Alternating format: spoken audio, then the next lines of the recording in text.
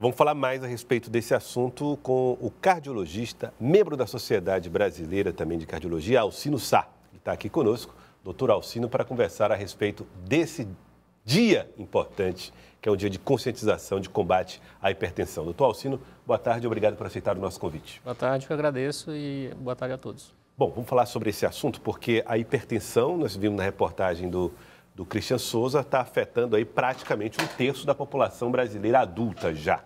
É, como é que, como é que isso, por que, que isso se dá? Por que, que acontece? Por que, que esse índice é tão alto no Brasil? Pois é, na verdade, a hipertensão é uma doença que, que esse índice é alto no mundo inteiro. Né? Uhum. Obviamente, isso está muito relacionado ao longo da vida a uma base genética e uma piora nas nossas, é, na nossa qualidade de vida. Alimentação, obesidade, sedentarismo, excesso de álcool, tabagismo, tudo isso está associada à ocorrência de hipertensão. E, além disso, é uma doença que está relacionada com a idade. Uhum. Em torno de 30% da população adulta é hipertensa, mas é, 80% dos pacientes acima de 75 anos são hipertensos.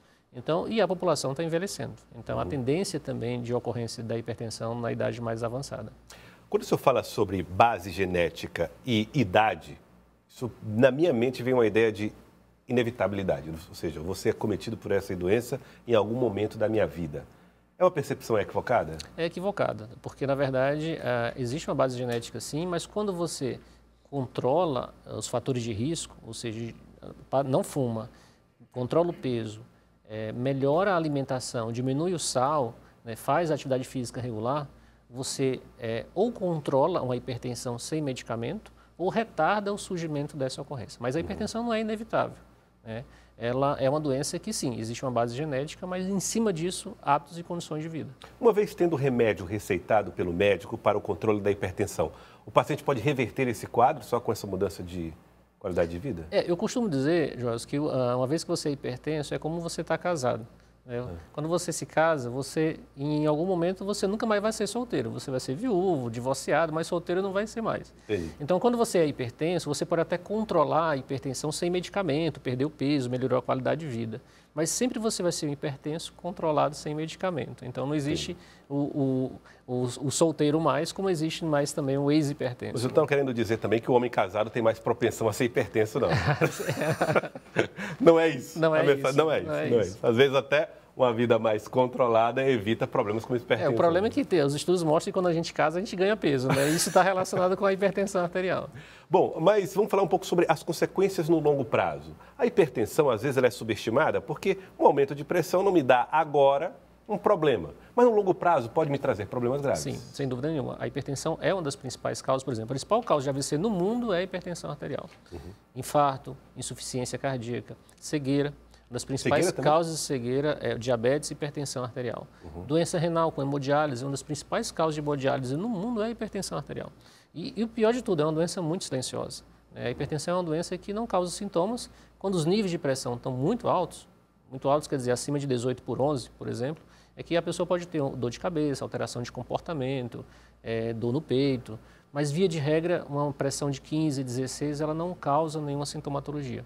E aí é um inimigo muito silencioso, porque não tem pressa para uhum. causar problema. Então, 10, 20, 30 anos de hipertensão sem controle é que leva a essas alterações e é onde a gente precisa mais de qualidade de vida, que é no, no, no, após os 60 anos de idade. Né? Bom, a hipertensão é medida com a ajuda de, de aparelhos, equipamentos médicos, que medem ali a pressão arterial. Hoje, qual é o número que é considerado hipertensão no Brasil?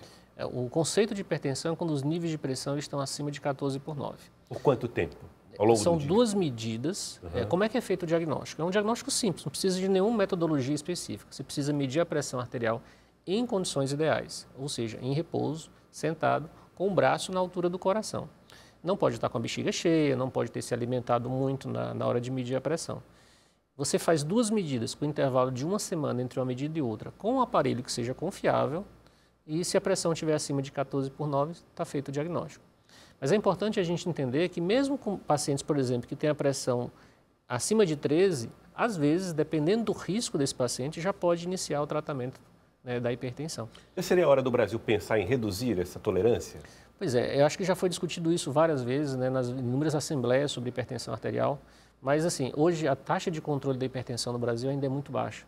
É, a, a, gente tem em torno dos pacientes que sabem que são hipertensos, o controle é em torno de 20% apenas. 20% é, dos pacientes, dos pacientes hipertensos diagnosticados, diagnosticados eles, eles 80% não têm controle ainda dentro da meta. Não Se conseguem gente, manter. Exatamente. Então a gente deveria perseguir pelo menos uma meta menos agressiva para a gente buscar depois uma meta de controle mais rigoroso. Se a gente chegar, porque por exemplo, os estudos têm mostrado que uma pressão de 15 ela tem mais complicação do que uma pressão de 14.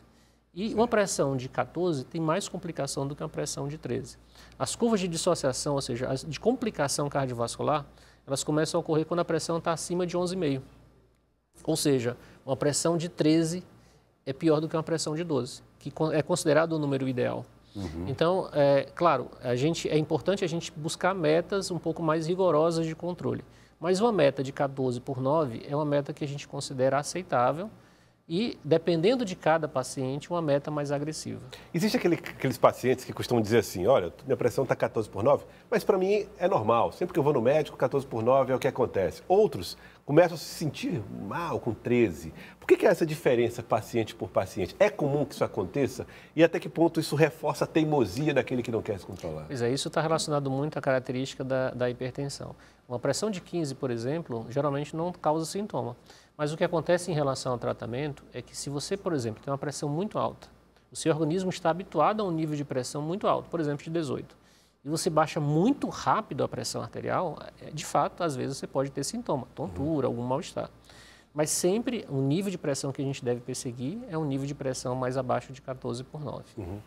Outro assunto, doutor, que é muito frequente, é as pessoas imaginarem que os picos de pressão apontam para hipertensão. Então você pode ter um exame ao longo do dia que você atingiu pontos é, acima desses 14 por 9. Quando é que fica caracterizado que esse excesso, essa ultrapassagem dessa linha que define o conceito, é de fato uma hipertensão que precisa de tratamento, não é apenas um momento de tensão Exato. vivida pelo paciente? Olha, isso é muito importante essa pergunta, porque esclarece muita coisa. É, as, as elevações da pressão arterial, não quer dizer. Uma coisa importante é: hipertensão não é pressão alta. Uhum. Você pode, por exemplo, estar numa situação de estresse, uma cólica renal, por exemplo, está com uma cólica no rim, que é uma dor muito intensa, e naquele momento você tem uma descarga de adrenalina e sua pressão sobe. Necessariamente não quer dizer que você seja hipertenso naquele momento.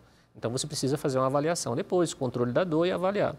Então, a situação emocional de estresse agudo, então qualquer situação em que há aumento da adrenalina, você tem um aumento da pressão arterial como consequência. Por isso que o diagnóstico da hipertensão ele deve ser feito em condições ideais, em repouso, com o paciente sentado, em um ambiente tranquilo. Não vale essas medidas agudas da pressão arterial por um estresse emocional. Se você recebe a notícia ruim, sua pressão pode subir. Certo. Se você ganha na Mega Sena também, a pressão vai subir. Então, nessas condições, não vale você aferir a pressão e dizer que é hipertenso. Ou seja, se sua pressão for subir, que seja porque você ganhou na Mega é, Sena, pelo vale, menos. Vale muito a pena. agora, doutor, uh, sobre pessoas, agora pacientes comuns, pacientes que não têm uh, familiares com hipertensão, que não têm histórico genético, quando é que elas precisam começar a prestar atenção nos seus, nos seus índices e buscar ajuda médica? Olha, a gente costuma é, avaliar e dizer que o tratamento, a investigação da hipertensão, ela deve começar desde a infância. No sentido de que a gente deve buscar, o pediatra, orientar sobre uma alimentação adequada, é, evitar a obesidade, diminuir o consumo de sal, porque você tratando ou cuidando de uma criança, você consegue que ela seja um adolescente ou um adulto Mas tem hipertensão infantil? Tem, hipertensão tem? infantil. É mais grave do que a adulta? Não é que seja mais grave, geralmente é causas secundárias, né? uhum. né? não necessariamente, porque a hipertensão existe uma causa primária, 95% das vezes a gente não sabe a causa da hipertensão, então qual é a causa? Ninguém sabe, 95% das vezes a gente não sabe. Mas em 5% das vezes a gente tem uma hipertensão secundária, por exemplo, é um tumor, que é raro, felizmente, mas, por exemplo, alterações na tireoide, alterações renais, isso leva a uma hipertensão secundária. Então, você trata esse problema e a pressão e normaliza. Você não precisa necessariamente tratar a hipertensão. Uhum. Mas, em mais de 90% das vezes, a hipertensão é uma doença de causa primária. Tá. Né? Bom, mas o senhor falava que é a idade que a pessoa precisa começar a acompanhar. Sim. É, a partir da, dos 18 anos de idade, a gente já tem um cuidado maior. E a, a, por conta da ocorrência da hipertensão ser maior após os 30 anos de idade, é nessa, da, nessa idade que você precisa ter um cuidado muito mais rigoroso. Por, é, as avaliações são mais frequentes, por exemplo, se sua pressão ela está acima de 13 por 8, você já deve ter uma avaliação anual da pressão arterial. Como é a avaliação anual? Precisa de exame? Não, medida da pressão arterial anual. Né? Quando a pressão ela já está acima de 14 por 9, aí você deve avaliar com o médico para definir se você já tem hipertensão arterial de fato. Quem tem pai, mãe, tios com hipertensão precisa antecipar essa data Sim. de análise? O, o histórico familiar é uma coisa muito importante na avaliação clínica, porque como eu disse, existe uma base genética, em cima dessa base genética você tem hábitos e condições de vida. E é claro, às vezes mesmo um paciente que faz atividade física, que tem uma alimentação adequada, que não é obeso, ele tendo uma genética familiar positiva, ele tem um risco maior de desenvolver hipertensão. Queria agradecer ao senhor, doutor. Muito obrigado pela presença aqui conosco, muito esclarecedora. Espero que as pessoas em casa possam ter despertado aí o seu interesse pelo cuidado e a prevenção à saúde, porque hipertensão não é brincadeira. Muito obrigado, doutor. Eu agradeço, agradeço ao convite e convidar a todos para que a gente possa ter um controle melhor da pressão arterial, procurar seu médico e, e respeitar uma doença e cuidar dela, porque mudança de estilo de vida, o tratamento adequado, ele traz sobrevida no longo prazo. A gente consegue viver mais e melhor quando a gente trata a hipertensão arterial. Muito obrigado, doutor. Muito obrigado mesmo.